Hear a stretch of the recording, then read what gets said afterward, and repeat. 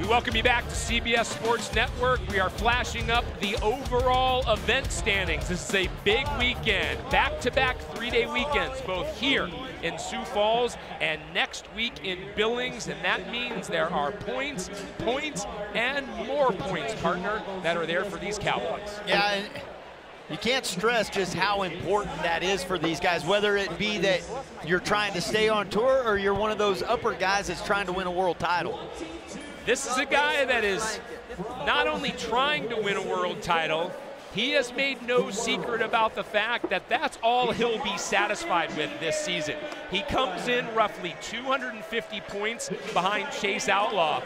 But let's be frank, Jose Vitor Leme has not been the same guy the past few weeks as the Jose Vitor Leme that started 2019.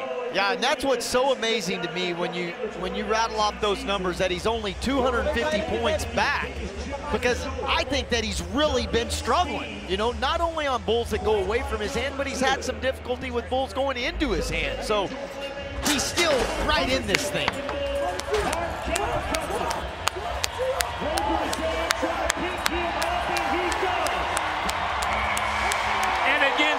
Medicine Man, it looks like the Brazilian has found his proverbial spoonful of sugar because Leme is going to celebrate. That's really good, too. Check out those numbers. 90 and a quarter. Worth every point. It, this is the great thing about Jose. We talked that he's been struggling on bulls, bulls specifically that go to the right, but he's such an exciting rider that when he does hit the mark, it's big. Round wins than anyone so far this season, and he is now poised for his sixth round win.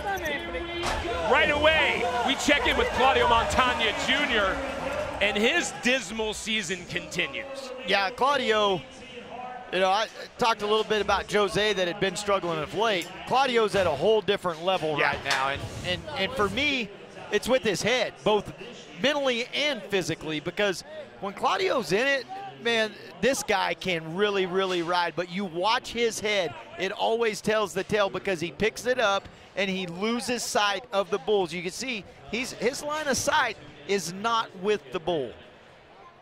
We mentioned Colbaba's struggles earlier. Montanha Jr. now only four of 19. Let's go back to the success of Jose Vitor Leme. He's standing by with King.